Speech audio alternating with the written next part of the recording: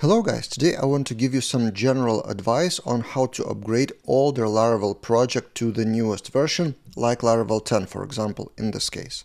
And at first I wanted to show a video or a course to upgrade some very old project, but then I realized that it would be a really long one and it would also depend on the project, so it wouldn't be too practical because every project is individual. So instead of that, I decided to shoot this relatively quick video about how to think about upgrades so you would adapt my thoughts into your practical reality.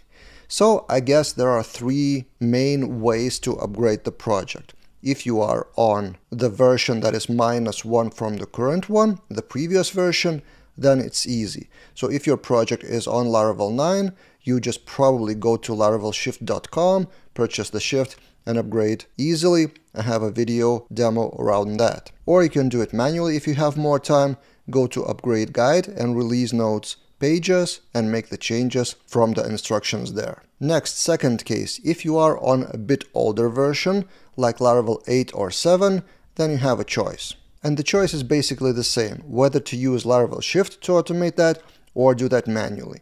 The thing is that you cannot jump through a few versions at once. I mean, you can, but there's no upgrade guide or any instruction how to upgrade from Laravel 7 to Laravel 10, for example. There's an instruction from 7 to 8, from 8 to 9, and from 9 to 10, respectively. So that is exactly what you should probably do. Not necessarily, but that's how I would do that.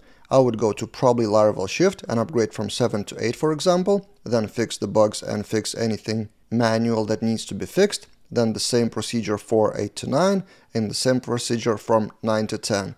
It seems counterintuitive and it seems too much work, but that's probably the most reliable way to do that. And then we come to the third case, which you see on the screen, a very old project. If you have a project on Laravel 5 or 6, then it's much more tricky. So here I have my very old Quick LMS, one of my first demo projects ever, which was created six years ago with Laravel 5.4. So at first I thought to shoot a video or a course to upgrade that one, but then I realized how much time it would actually take. And this is probably the first main takeaway from this video that I want to emphasize is upgrade the versions while it is easy and don't come to the point where it becomes really hard.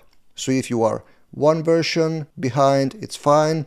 Two versions, it's still manageable but three or more, then you're in trouble. So if you have time or if you don't have time, then talk to your managers that you should have time to upgrade while it is a breeze to upgrade. At least in case of the latest Laravel versions, the changes are pretty minor. Now, how would I approach upgrading a very old project like this one? First, of course, we need to look at Composer JSON. And the main tricky part of any upgrades, including minor upgrades, is not about Laravel, it's about dependencies. And those dependencies are very individual. That's why if I shoot a full upgrade video or course, it would be irrelevant to you because your dependencies would be different from mine.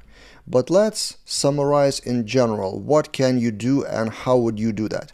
You have two choices basically. First, do the same thing and upgrade version by version, but then you have like five versions, six versions, and then it becomes quite a huge amount of work. Another alternative, like totally opposite alternative, which becomes logical, is to recreate the project. Because if you haven't upgraded for a while, there may be a possibility that it's time to recreate the project anyway with new thoughts, with new ideas, not only from technical side, but also from the business goals, from the goals of the project itself, for the users, for the customers. So maybe I would create a new Laravel new project with Laravel 10 and then try to copy and paste the features from the old project.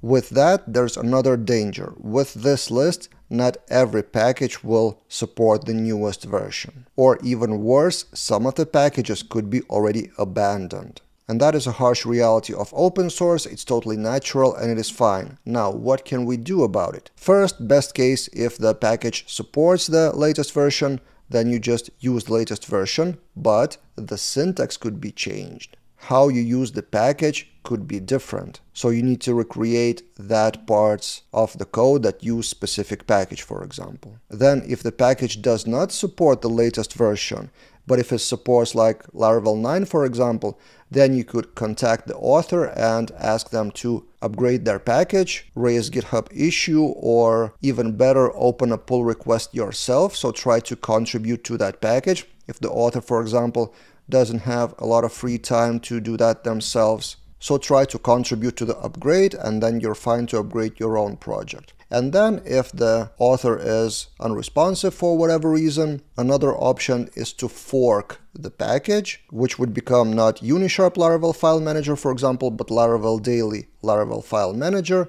and then you use your own package instead of that original one. But also, while recreating the project, this may be a chance to rethink the whole functions. For example, try to find the alternatives. Maybe better packages appeared on the market since that time. For example, instead of using Stripe directly, maybe try to use Laravel Spark, or instead of doing intervention image, which is PHP package, maybe use Spatie Media Library. So try to rethink the whole functions, and that would be a part of your recreated new project, which may shine with new colors, with new features, with new user experience, with new packages. And yes, it's a lot of work. But if you are already committed to that work, if you have like the budget and the time, why not put extra like 20% effort and make that new version even better, not just upgrade the older one. And the final thought in this more philosophical video than practical is you need to cover that with automated tests.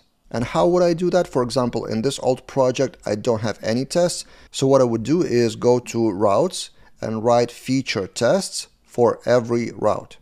So routes web, for example, I would write feature test, launch the home page, and that it returns 200. That's the first test.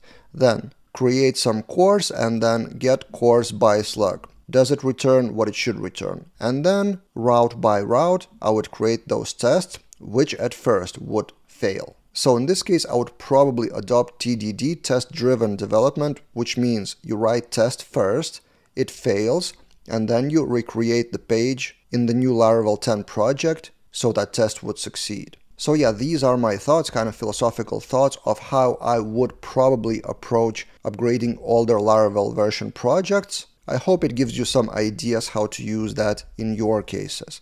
What would you add to my thoughts? Share in the comments below. Have you recently upgraded older versions, older projects to Laravel 10 or Laravel 9? What was your experience? What would you have done differently maybe? Any advice would be good for others. That's it for this time and see you guys in other videos.